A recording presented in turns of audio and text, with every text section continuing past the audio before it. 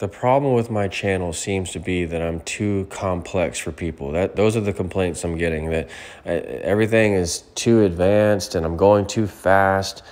The last two videos I've made, you're starting to hear me vent these disgruntled opinions. And I have to say that I don't care. You have to absorb this knowledge and i know it's all coming fast and at one time but just look at the money. The money in my account is coming fast and you know what really comes fast is like learning to not repeat the same mistake twice and get burned and get hurt. That's what comes fast is you know not wanting to get hurt and through necessity i've stopped doing certain things like buying stocks and instead of bought dividends because I'm just tired of you know uh, repeating the same vicious cycle all the time. I mean, that's I've traded for 20 years, and people to this day still just want to trade stocks all the time, like I traded stocks. But there are so many problems with stocks. It's um, where do I begin? First, if you make all your money in stocks, it doesn't act as qualifying income to a bank. So you can't do anything with your stock money. All you can do is um, sit there and look at it and, you know, think it's pretty. Uh, and that's about it. You can't do anything with it. You can't buy a house with it. You can't do anything with it. Um, FNGU, for example, you see FNGU here up 18% for me. It pays no dividends. So, the bank, as far as the bank is concerned, that gain didn't even happen today. So, uh, 90% of traders lose in the stock market over time. They cannot beat the S&P consistently. Why do you think you can beat the S&P consistently through trading? I mean, yeah, some years you have good years and yeah, trading is fun. But why don't you trade the way I trade, which is sell options on the same vehicles. I love using the Tesla example because everyone's buying Tesla at 100 or 170 a share, and I bought Tesla at 50, except I didn't even buy it. I just control the option, and I made $800 to do it, 795. If you own Tesla stock at 100 a share and it went to 170, which it just did, you made a 70% gain. That's $700 on $1,000. Well, I'm still made more than you. On a 70% gain, I still made $100 more than you. And I did it taking no risk. You took all your risk and assumed your risk in your outright money. I didn't even invest and I just sold the option at 50. And my true cost basis is 42 because 50 minus 795, rounded to 8, is 42. What's so complicated about that? Why invest in stocks? Outright. Why not get a more attractive cost basis like I did in Tesla and get paid handsomely to do so? And that's just for our stock exposure here. You know, this is just so we play the FOMO game. We don't have any FOMO. And all these premiums reduce our margin. Uh, these premiums that we've collected here, you know, 11,000, 17, 1,100, 1,700, 7, you know, but look, these are in fives and threes. So 5 times 7 here, that's uh, 3,500 in the TQQQs that we got. I mean, you add all these up, all these columns up, all these premiums, and it comes out to like 30, 40, 50 grand. I mean, that's can you make that much in trading stocks? I don't think so, and I don't even own the stocks. I'm I'm just controlling these stocks at a much lower price than everyone else is controlling them at outright. Then I take all the proceeds and I invest them in passive income up top. They give me the 20% dividends. As you can see here, in our performance and value, we're up 25% to start the year, whereas the S&P is only up 7, the Nasdaq's up 13. So we're beating both. And as you see here from our estimated income, we're up we we make 95,000 a year. So yes, we make 95,000 a year in dividends paid monthly which is great, and stocks won't do that for you. But we also make 12,000 in a day.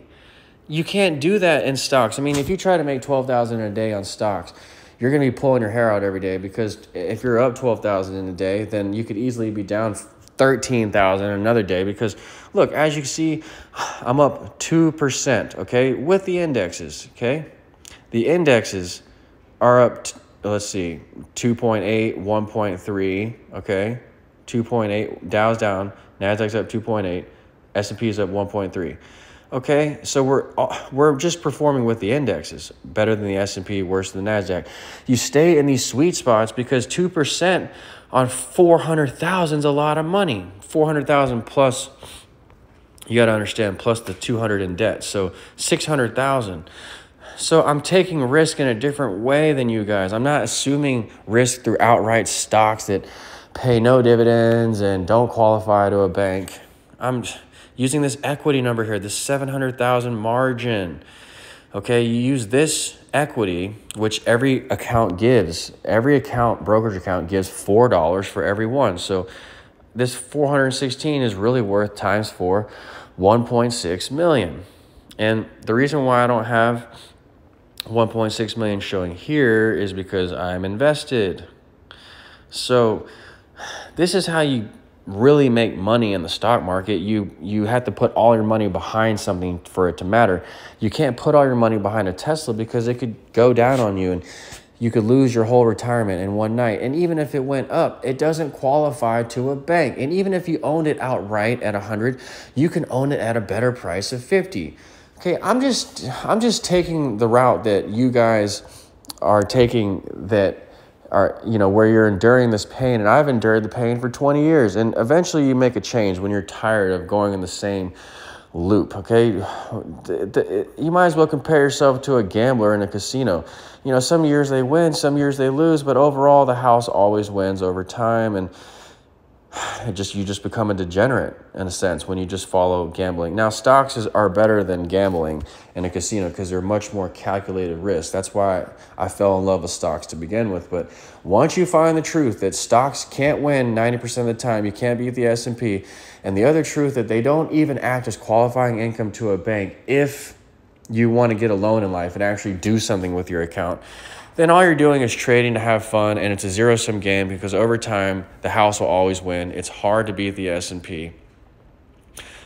So, see my past video that I made today earlier this morning on, you know, why it's uh, hard to use stocks and you know, if you had a $10,000 account, guys, which many people don't even have, $10,000 account. You're going to put the whole 10,000 in Tesla? No, because you need to diversify. So you're going to put sprinkle a thousand in 10 different names. Well, some names will be up today, some names will be down today. So overall, you're going to be just in line with the indexes. Uh, you'll be up about 1 to 2 or 3% in your portfolio because the stocks all balance each other each other out through diversification. So, and if you put all your money in Tesla, like I said, that's just a dumb move because it could pay off. But if you're in it last year with all your money, you lost almost everything. You lost like 50% of your money. And you had no dividends to live off of. The dividends were getting us through the market last year. So if you had ten thousand dollars, you're really going to put one thousand into something, not ten. And if you just put one and uh, you bought one thousand at one hundred share, it went to one seventy Tesla. Good for you. You made seven hundred dollars, but I still made eight hundred dollars selling the put. And with your ten thousand dollar account, you could have had all that equity to do the same thing, sell a put on Tesla, but then use the other ten grand, but really 10,800 because you got 800 more in premiums. Use the 10,800 to invest in these passive income names that give you monthly dividends. They pay you more than the market, than the stocks would. They act as qualifying income and you get days gains from the market, okay? So this is why dividend investing is better than stocks. I, going to make many more videos. Oh, my channel is dedicated to this whole philosophy that passive income beats stocks, but I just wanted to give a few pearls as to why you're wasting your time with stocks.